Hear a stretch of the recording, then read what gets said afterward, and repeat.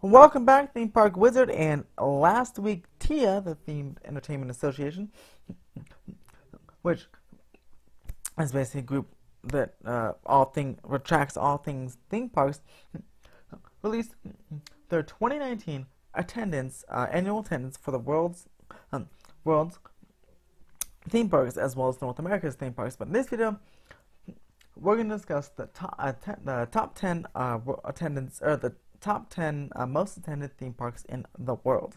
Of course, as you expect, most of them are Disney and Universal parks, but not just the domestic parks, but there are ones from around the world as well. But starting off from uh, 10, number 10, there's actually a park that's close to Hong Kong Disney, but not Disney, and not Hong Kong Disney. It's actually Chimelong Ocean Kingdom. Chimelong Ocean Kingdom had 10.3, or sorry, 10.83 million visitors. That's right, 10.83 million visitors. Um, in last year, that's a 10.6% increase. The, um, than 2018, and that uh, that Chimelong Ocean Kingdom is it's uh they have rides, but it's also they have like the world's largest aquarium it's really it's like a like a giant SeaWorld, probably better themed giant SeaWorld, only in China. I think it's in Hong Kong. I believe I believe, I believe it's next to, near home, Hong Kong Disneyland. Correct me if I'm wrong in the comments below, but I believe, or I think it's Ocean Park that's next to Hong Kong Disneyland. But Chimelong Ocean Kingdom is in China, and I looked it up and it looks like it's a really really cool place. So definitely go if you want to check it out and uh, let me know exactly where it is in the comments below if you can. And let's see. Number eight, uh, number nine, sorry, is Disney's Hollywood Studios. Yes, Disney's Hollywood Studios popped up to number nine to, to 11.258 million visitors in the year 2019. It's a 5% increase. I'm sure um, the opening of Galaxy's Edge last year, at the end of last year, helped that big time. Um, helped a little bit of that, but definitely Toy Story Land in 2018 may have helped as well. People wanting waiting till 2019 to visit both lands made a five percent increase um, in the amount of um, people that for that small park. It's only about six, somewhere about nine attractions or so. Um, so they definitely need some new additions, and hopefully after coronavirus, Disneyland, or uh, a couple years later, Disney will get their budgets together and they can add some additions to uh, Disney. Also, making Amazing Runaway, Runaway Railway definitely helped with that attendance as well. But it couldn't beat number eight with 11.8 million views. It's Shanghai Disneyland. The Shanghai Disneyland hmm, park, and it's fourth year, actually third year. It was opened about 2016, so yeah, third year. Um, uh, 2016 or 2017. But anyway, it has 11.8 million uh, visitors, just uh, slightly more, or uh, a few more than Disney's Hollywood Studios. That's 7.3 increase from 2018. They've had some new additions as well. I know they've had a Toy Story Land expansion. Um, and a Zoo, a Zootopia, Zootopia themed expansion, which should be fantastic.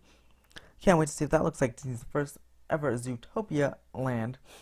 So that'll be really cool. Shanghai Disneyland, of course, is also the first Disney park to reopen from the COVID 19 um, closures.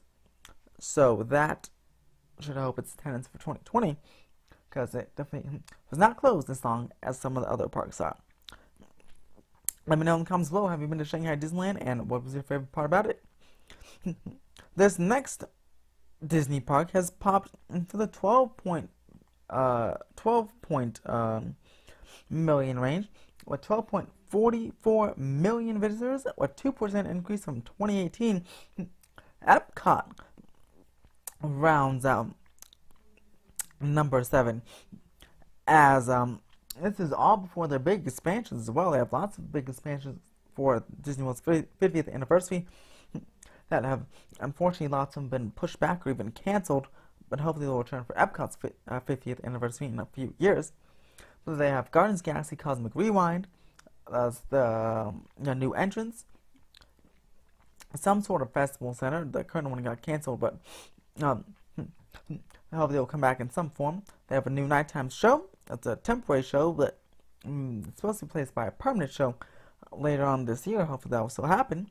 They have Ratatouille coming, and they have some other great stuff. Uh, some new films in the in the pavilions. But they also had Frozen Ever After open in the past couple years, and all of that has popped up uh, Epcot's attendance by two percent to 12.44 million visitors. And another Disney World park. It's the last Disney World park for a while on this list, but 13.7 13.7 let's see 75 million visitors that's a 10% a massive 10% increase. It's disney's animal kingdom my personal favorite disney world park. I'm sorry magic kingdom. Sorry hollywood studios. Hollywood studios is number two but animal kingdom with nearly 14 million visitors is my favorite uh, um, park it's a disney world park it's the world's largest theme park by area i love all the attractions there of course um, pan everyone comes goes to see pandora so that's a beautiful distance. I have not seen it yet, so I, I'm sad to see it. Also, I love Expedition Everest. That park deserves deserves as much love as it can get. So I'm so happy we got a 10% increase, and um, some slew of attractions just closed in the Dinoland area, providing the potentially um, paving way for potential redo of the land and a potential maybe Indiana Jones land or Dinosaur could be rethemed to some other IP as Primeval World has permanently closed and the Rivers of, of Light, uh, light uh, nighttime show unfortunately got canceled as well, both due to COVID-19, although Primeval World was already seasonal and was already on its way out, most likely this is just a perfect time to do it. Now this next park actually had a decrease in visitors in the um decrease in visitors in the last year since 20 from 2018 to 2010 with a with 14.60 sorry, 14.3 million vid uh, visitors, a 4.3% decrease. The only park with a decrease on the list, Universal Studios Japan, which is the most is the uh, most attended Universal park on the planet. I'm assuming there's no other Universal park on this list, but with the 4.3% decrease, I'm not entirely sure why the decrease happened.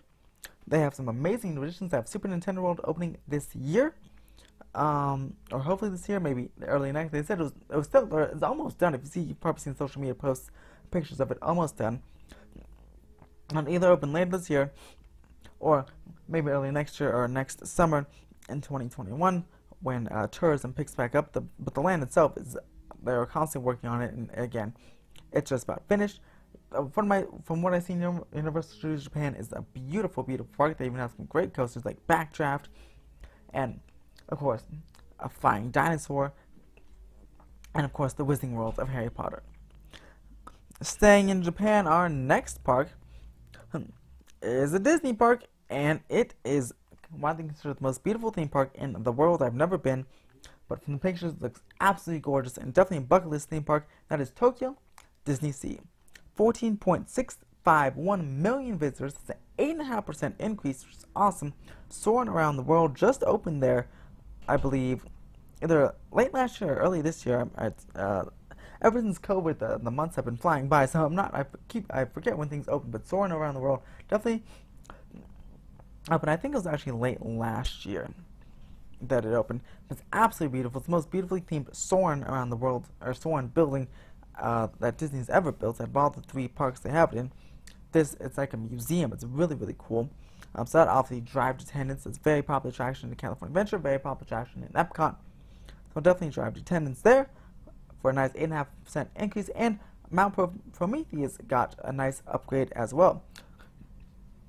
Attendance for Tokyo Disney even with this COVID, should still potentially go up as um, the uh, Tokyo Disney Sea's Fantasy Springs expansion should be complete later on this year or early next year hopping across the way with a 7.9% increase, Tokyo Disneyland. Tokyo Disneyland has some great expansions. Some that are supposed to open on April 15th, but of course got delayed due to coronavirus. Hmm. Those expansions, I'm not sure if they're open. The park is, I believe, open. I think, yeah, I think the park's open. But I'm sure if the, the Tomorrowland expansions and the Beauty of the Beast attraction have opened yet. I do not think so. But those attractions should be opening, and of course, give that another uh, that park an attendance boost, 7.9 increase um, from tw uh, 2018. Last year in 2019, that's 7.907 million visitors. That's about it's almost like at least two and a half million more than Tokyo Disney Sea, which is crazy because Tokyo Sea seems like the better park in my opinion. But everyone loves the Magic Kingdom style parks. Speaking of the Magic Kingdom style parks, the last two, of course, are Magic Kingdom style parks, and they've been the last um, they've been um, the top two for decades in attendance. Disneyland attendance went up 2% to 8.666 million after Star Wars Galaxy's Edge opened. Of course, it was Star Wars Galaxy's Edge was a little bit quieter than they expected, but attendance still went up 2%.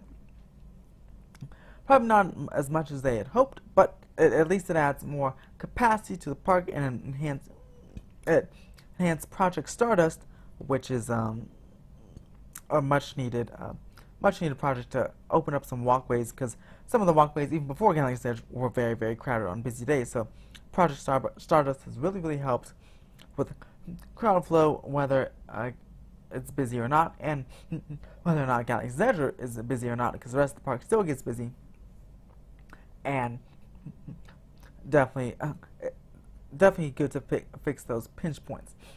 And of course, the number one, not a surprise, the Magic Kingdom. Of course, the Magic Kingdom style park, uh, Disney World has 20.859 million views. That's a 2% increase from 2018. And they didn't really add much, not much to say here. Besides, it's just just like Disneyland, it's just like the Magic Kingdom um, iconic style parks, and uh, everyone loves to visit them. Uh, the especially the Magic Kingdom might take a hit this year. to the travel restrictions, it's mostly a travel or mostly a destination park, so people travel across the world and the country to visit it. So it might take a big hit this year, but um, Disneyland should fare much, much better with their annual pass holders and obviously with the parks closed the attendance at all these parks will take a big hit this year. Be interesting, interesting to see what the numbers are with a lot of these parks having been closed for the uh, first half of the year uh, when the numbers come out at this time next year. What do you guys think of the top 10 uh, park theme parks? Which parks have you attended? Which parks are on your bucket list to attend? And uh, are you surprised by the numbers? I'm not surprised by the numbers at all, but it's very interesting to see hmm, some international parks, non-universal or Disney parks, like, well, there's only one, I guess, Chimelong Ocean Kingdom, start to make that top 10. I wonder if in the future, more and more international non-Disney universe parks hmm, will crack the top 10, and if so, that means uh, Disney Universal better ep- uh, step up their game, especially at the international parks. But so far, that does not look like it is happening. If you liked this video, please comment below, or please uh, give this video a big thumbs up. Check out some Theme Park Wizard merch if you'd like a face mask or a new t-shirt. I have some new Frozen-inspired shirts coming out later this week. They're available for pre-order now. And subscribe for more theme park updates, including a trip to Knott's Berry Farm this Saturday for the Taste of Calico event. And as always, have a phantasmic day.